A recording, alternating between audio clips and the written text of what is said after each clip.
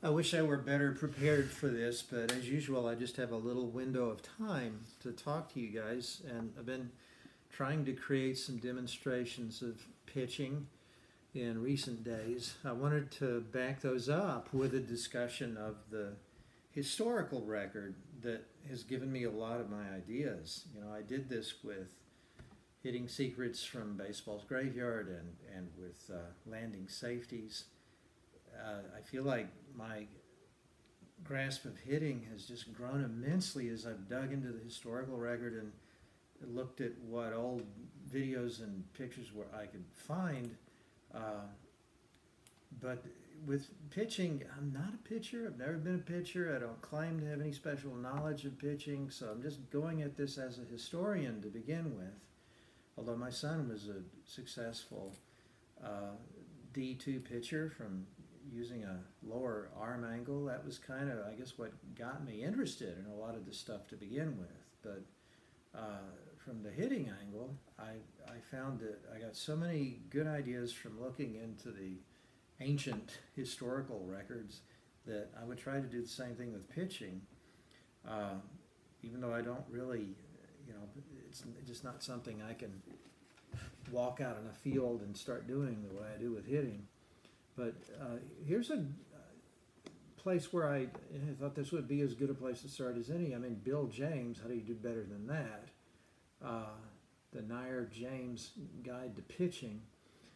It's, it's just an exhaustive index of like all the pitchers that have ever thrown in the big leagues, even for one or two pitches.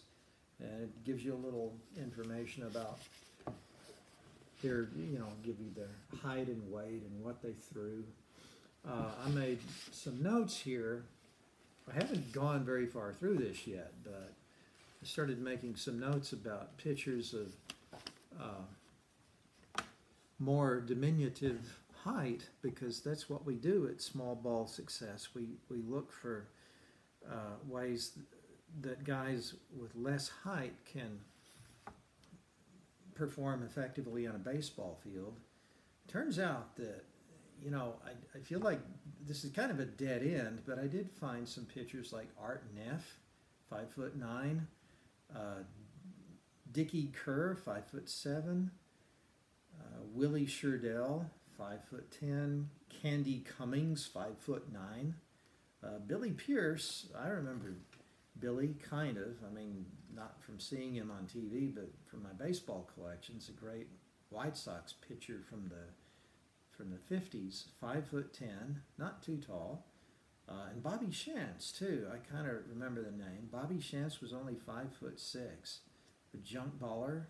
And then there was Dolph Luque from farther back. He was five foot seven.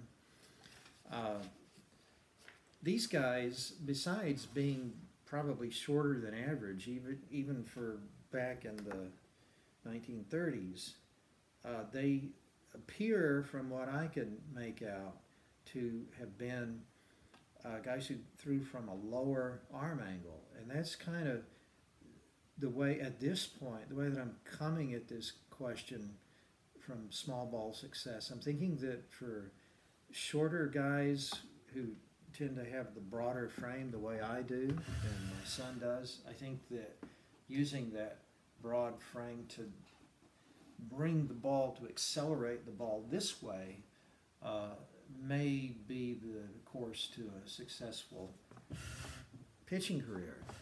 And maybe these guys were doing that. I think the ones that I read off were, were doing it.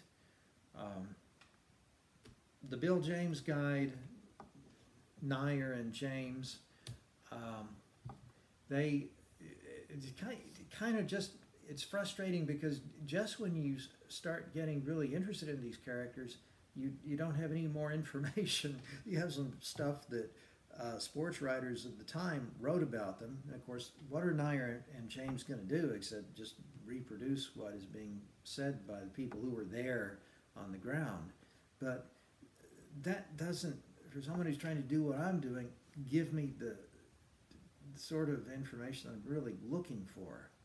So I have lately gone to the strategy of trying to create a kind of a profile for pitchers who who use the motion that I'm looking into right now, I believe that uh, they would, the, the guys we're looking for uh, are going to be uh, probably photographed in baseball cards. I used lots of baseball cards when I was studying hitters, so I decided, well, let's try to do the same thing for pitchers. The, the favorite shots for shooting pitchers in baseball cards uh, are usually right after they've delivered the pitch. I'm seeing a lot of that. Uh, that's because basically there's no more fast motion that you can you can with a slower shutter speed, which you're going to have back in the 20s and 30s. Uh, you can get that shot and it's not going to be blurred. If you try to shoot them while they're whipping their arm through, you're going to get a blurry shot. And that's the same reason why you can't get shots of hitters in old baseball cards when the bat is actually going to the ball.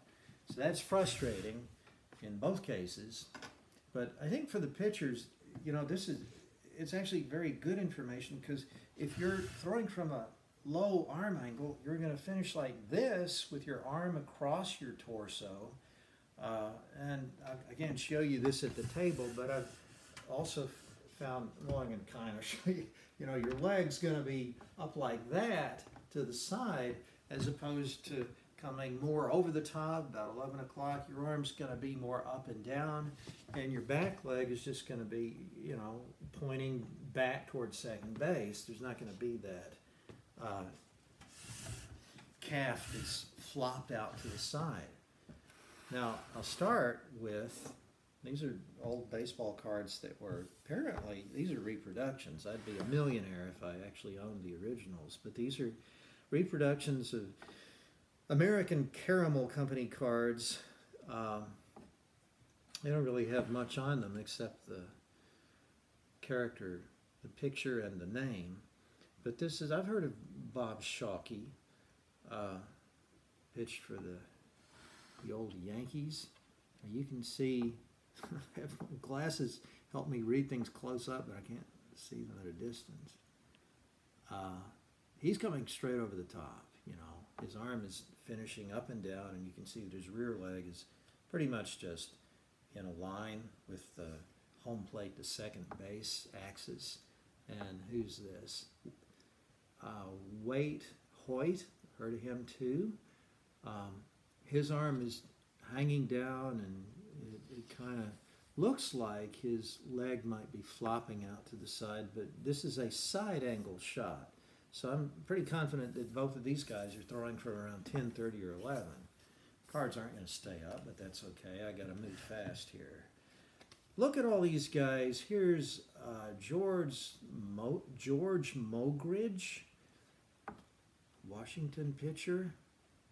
See, there's the arm that's just crossing the torso now to the side. Now he's just warming up, and Walter Johnson looks like he's just warming up. Although they said Walter uh, threw so casually, even though he's he was buzzing the ball in there at 90 plus, but it would just look like he was warming up when he threw real pitches. Here's uh, Urban Shocker, great, great baseball name, Urban Shocker. And he's got the arm across the torso, and you can see the legs sort of flopping out to the side. Here's another Brian Harris, no relation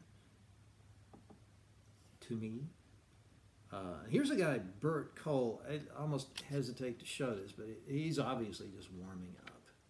But then, you know, why would you, as a pitcher, why would you even warm up? I could understand if you were a middle infielder, you'd be trying to maybe flicking the ball from the side uh, to get loose. But why would a pitcher, even in the process of warming up, drop down to do that if it's not something that he actually does with his uh, regular pitching? Now, there's a good shot of somebody, Howard Ehmke. I have heard of him too. This is from the 30s.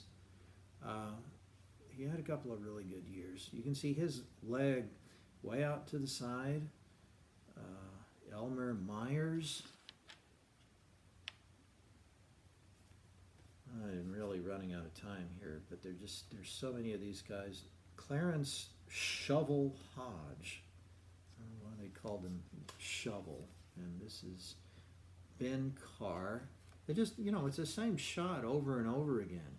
You get those arms that are uh, crossing the torso. So you know that these guys were throwing from a low arm angle and really not stacking the deck here, guys. I mean, I found, started out with two cards of guys who were finishing with a sort of over the top delivery, and I've got how many here? Like a dozen of guys from the 20s and 30s who were throwing from down here. That's simply what I found in digging through this collection of reproductions. It's, it's like a, you know, a one to six ratio of guys throwing from here is opposed to throwing from down here. So it appears that uh, in earlier baseball, almost a century ago, this was the preferred angle. Uh, guys were a, a, little bit shorter on the average, but they were certainly throwing more frequently in terms of starts, and they were throwing more innings. And uh, gosh, uh, how could that have been damaging, particularly damaging to the arm, if they could have ground out all the innings that they did? So, uh, and I'm going to operate, at least for the next few weeks or months, until I see evidence to the contrary, on the assumption that uh, this is the key to figuring out what guys used to do. And in small ball success, as we try to look in farther to pitching, this is the style that I'm going to try to replicate. So stay tuned.